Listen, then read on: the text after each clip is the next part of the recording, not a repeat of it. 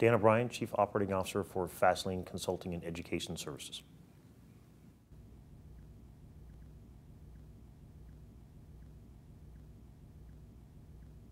Initial measurement challenge for me is um, taking, uh, making awareness within um, an executive organization of certain key things.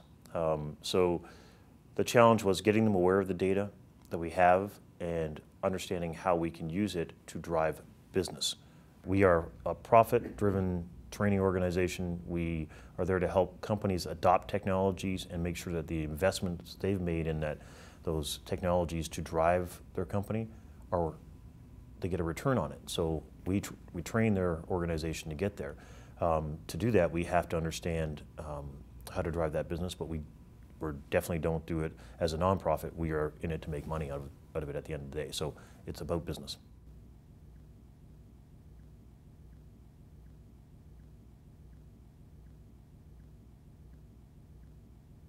I think my first earliest success, I had a doubter in a SVP within um,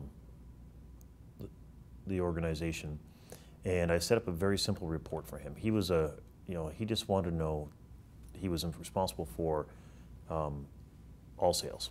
So he wanted to know, did his customers like the training, um, and would they recommend us? And there's two questions in the surveys that have that.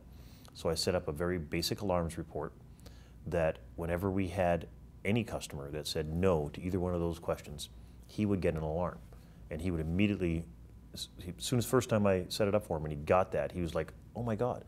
He goes, I can take this now. And he, go, he literally took it to like the, the salesperson responsible with 300 person sales desk and said, go look after this customer, find out why they didn't like this training. So that was a win for me. It was taking a guy that didn't really want to look at this data and just get a very simple report, a simple action in place, very simple win. From that, when you want to do more complex things, he was on board.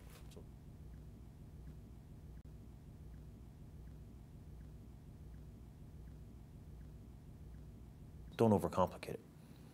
Data is powerful. You can get um, a little um, euphoric or enamored with the amount of data you get, and you can spend a lot of time diving into data and getting too complex. Pick your top two or three wins you want to get. Get three simple reporting measures in place right, and drive a very simple strategy to, that gets very early wins that then you can use to leverage and get buy-in to get deeper. If you start with something very deep and complex, you're liable to fail. So start simple, move, move to the complex, get buy-in as you go. And those people that listened to it were successful. Those that decided to go another path tended to lose focus and come back and question why they made the investment.